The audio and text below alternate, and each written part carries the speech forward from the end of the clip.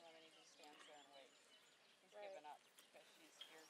Máni, Máni and her, Máni will hang on to it. Well, she's in and she gets frustrated and she'll go and Aspen will just kind of hang out and she doesn't.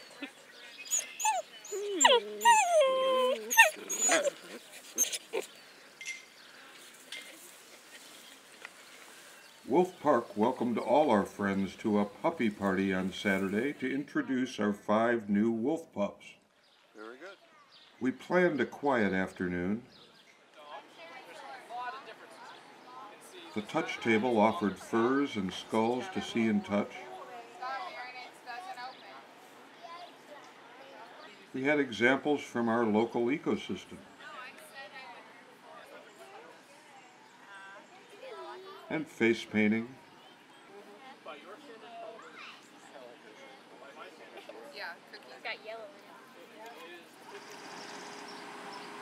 Our special guest, the Pink Walrus truck with tasty frozen yogurt. On a hot afternoon, it was the perfect treat. Strawberry shortcake, Nice. graham Oh crackers, God, and chocolate this. sprinkles. Amazing. Timber's pups, Aspen, Máni, and Sparrow, were the stars of the day. Now eight weeks old, they are becoming small wolves, exhibiting more wolf behavior.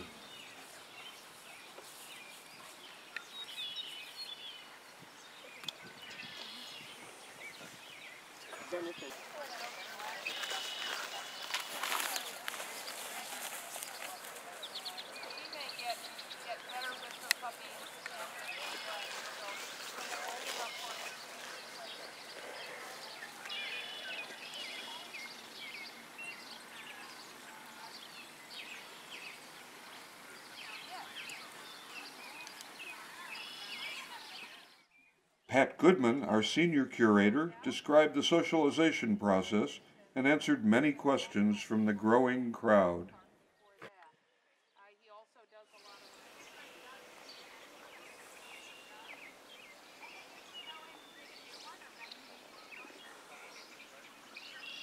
Our two pups from Wolf Mountain Nature Center are two weeks younger than Timber's pups.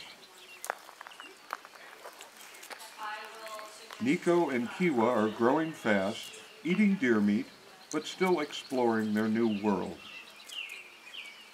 I would, personally. Mainly just because we've put in a, a lot more. Okay.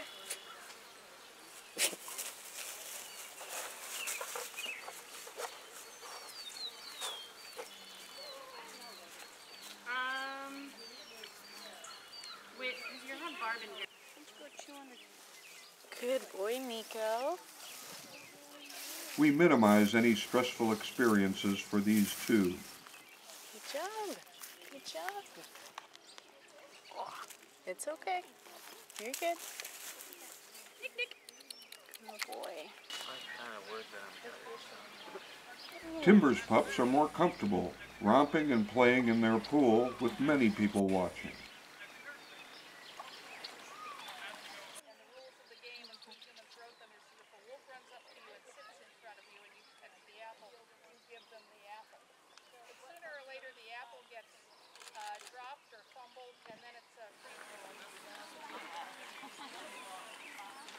Our visitors also enjoyed our educational tours to see all of our residents, foxes, bison, and coyotes. So the wolves are a lot more social.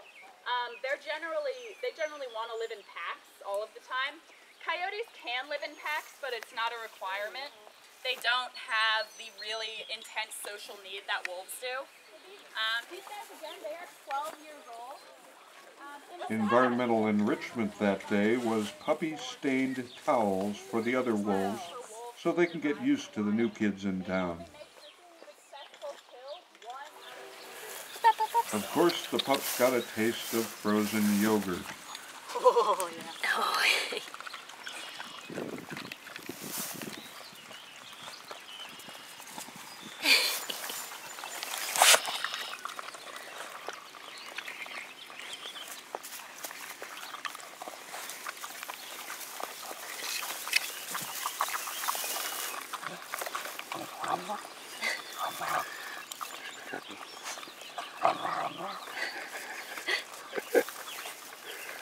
you good, buddy.